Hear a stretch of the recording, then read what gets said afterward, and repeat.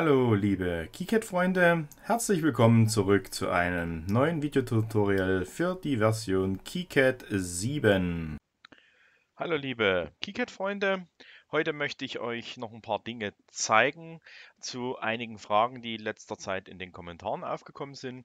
Unter anderem war die Frage, wie kann man Vias vergraben? Das zeige ich euch mal hier. Ich habe hier meine äh, Platine geöffnet und ich füge jetzt mal hier ein Via hinzu und ich füge noch ein zweites und ein drittes hinzu. Über Rechtsklick abbrechen kann ich das Werkzeug beenden oder mit der Escape-Taste.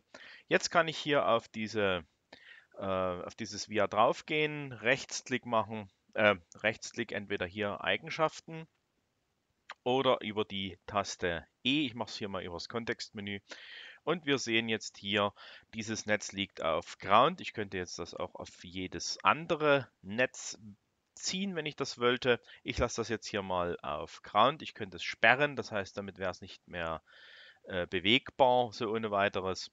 Das lasse ich auch mal. Und wir sehen jetzt aber hier, das ist eigentlich das wichtig, ähm, und zwar hier einmal angezeigt als Durchkontaktierung. Ich mache das hier nochmal zu. Ich gehe mal ein bisschen weiter rein. Wir sehen jetzt hier, wie es dargestellt wird. Ich gehe hier wieder mit der Taste E mal drauf, um mir die Eigenschaften hochzuführen.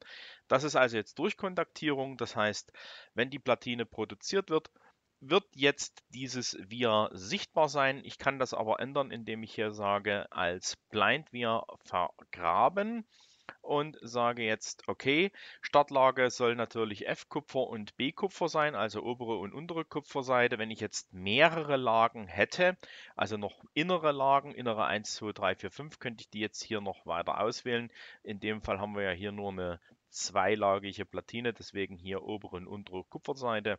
Und jetzt sage ich okay. Und damit seht ihr, wird es auch schon anders dargestellt. Und ich äh, blende euch mal jetzt hier äh, alles aus. Ähm, ich mal alle Lagen verbergen, verbergen und sage jetzt mal die F-Mask-Seite.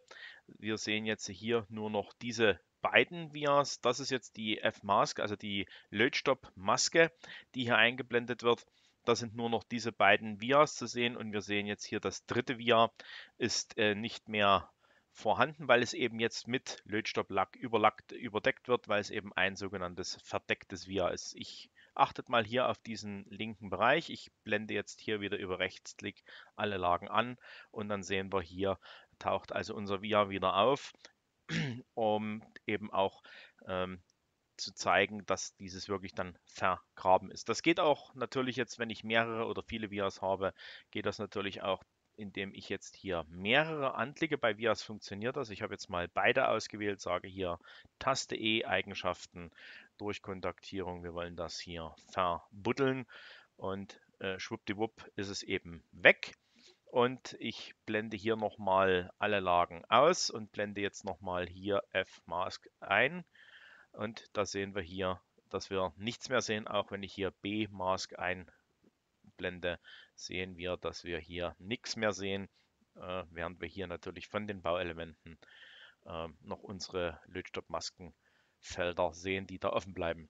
So, ich zeige sie wieder an und schwuppdiwupp ist hier, sind sie also wieder da, unsere Vias, jetzt als vergrabene Blind Vias. Über Taste E, ich kann wie gesagt mehrere markieren, kann ich auch wieder zurückgehen und sage jetzt hier Durchkontaktierung und dann sind das wieder normale Vias.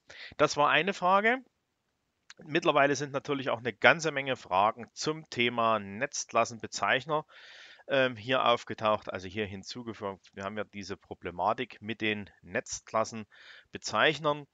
Dazu möchte ich jetzt äh, folgendes mal machen. Ich schmeiße hier mal alles raus. Wir sehen jetzt erstmal hier über unsere Einstellungen, über den Schaltplan einrichten, Projekt Netzklassen, habe ich mal hier verschiedene Netzklassen hinzugefügt.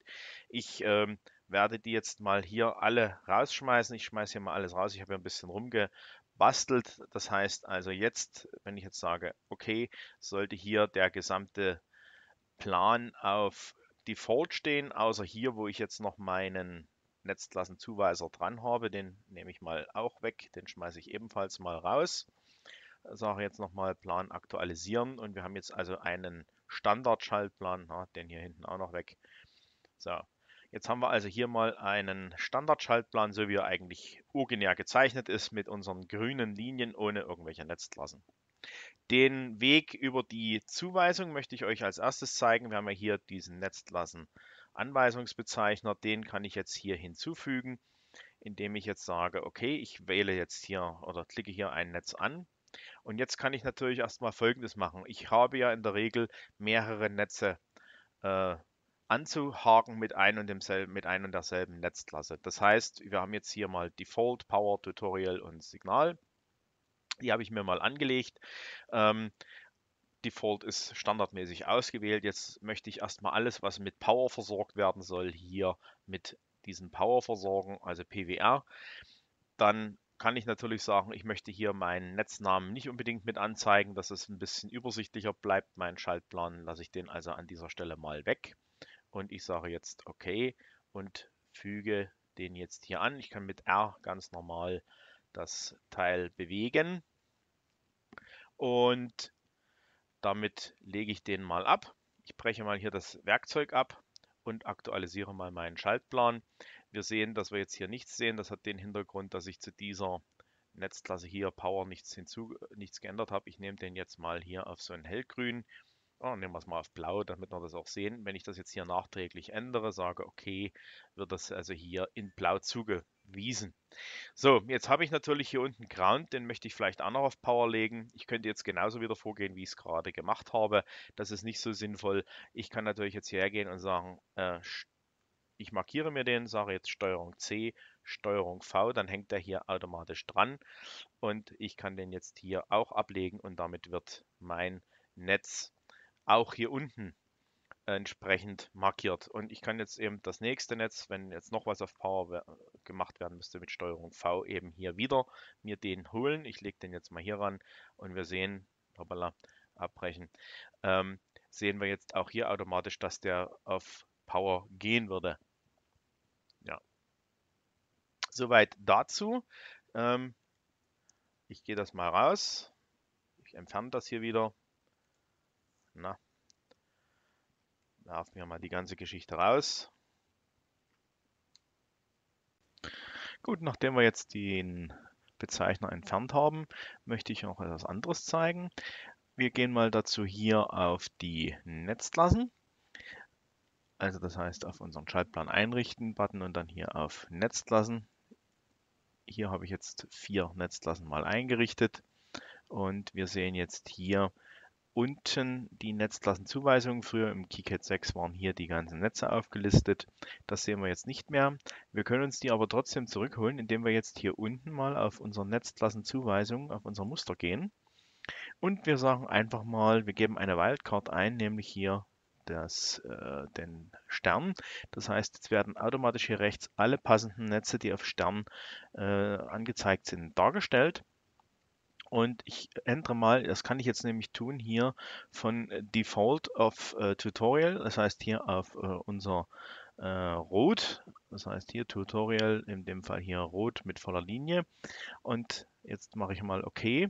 Und wir sehen alle Netze, die jetzt automatisch noch nicht zugewiesen waren, also hier über diesen Netzklassenzuweiser vom, äh, von Power wird das überschrieben, aber alle anderen Netze ich mache nochmal auf, gehe nochmal auf Aktualisieren, äh, werden jetzt überschrieben. Ich nehme das hier nochmal raus. Ich lösche auch mal hier den, den Netzklassenzuweisungsbezeichner und sage nochmal aktualisieren hier und wir sehen, dann wird das hier mit Rot überschrieben. Ebenfalls hier nochmal rausgenommen, mit Rot unter, überschrieben.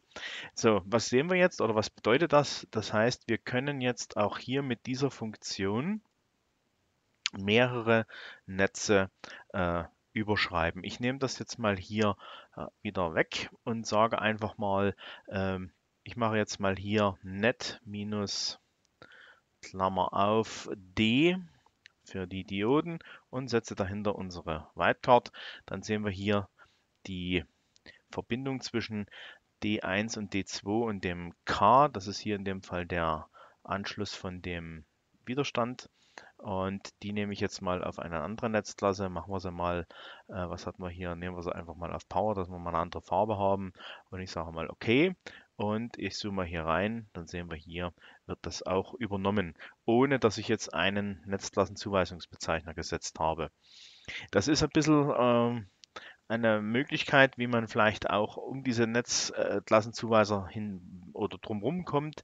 Ich persönlich würde vorschlagen oder würde sagen, äh, man nutzt erstmal nach Möglichkeit die Default-Werte. Also Default ist ja eingestellt hier unten setzt sich hier also Default und wählt jetzt hier eben eine Verbindungs- und eine Busbreite und eine Farbe und entsprechende Linienstil, der, sage ich mal, für wenigstens für den Großteil der, der Schalt, des Schaltplans zutrifft und nur für spezielle Dinge wie Power oder spezielle Signale würde ich dann eine eigene Netzklasse definieren und auch entsprechend über Netzklassen Anweisungsbezeichner hinzufügen oder zuweisen, dann hat man einfach den oder den, dann hat man den großen Vorteil, dass das auch eindeutiger bleibt. Wie gesagt, diese, dieser Weg hier über so eine Wildcard ähm, kann natürlich auch dazu führen, dass man sich zumindest mal den, die oder die Gesamtheit aller vorhandenen Netze anzeigen lässt.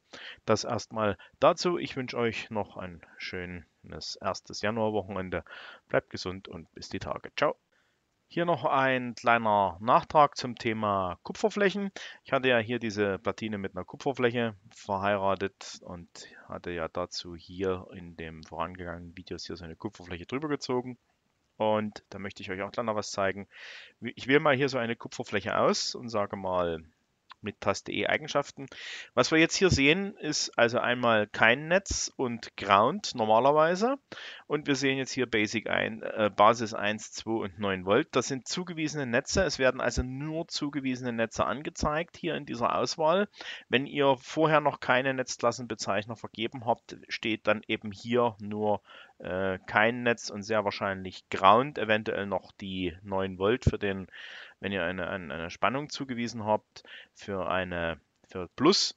Und wie kann ich mir jetzt das alles anzeigen lassen? Auch andere Netze kann ich jetzt natürlich hergehen, indem ich sage, automatisch generierte Netze hier ausblenden oder verbergen, indem ich den Haken hier wegmache. Dann werden alle Netze angezeigt. Und ich könnte jetzt auch diese Kupferfläche hier jedem x-beliebigen automatisch zugewiesenen Netz zuweisen. Macht natürlich wenig Sinn. Man nimmt in der Regel, nimmt man äh, für diese Kupferflächen. Ground in seltenen Fällen, wenn man innere Layer hat, mit also vierlagige Platinen oder dergleichen, kann man da auch noch äh, Pluspotenziale drauflegen. Aber in der Regel ist eigentlich oben und unten Ground zu wählen und deswegen steht das auch hier standardmäßig drin. Wenn ich hier den Haken wieder setze, sind diese nicht vergebenen oder nicht von euch vergebenen Netze wieder verschwunden. Soweit dazu. Ich denke, damit wäre diese Frage auch beantwortet. Also in dem Sinne jetzt nochmal, bleibt gesund und bis die Tage. Ciao.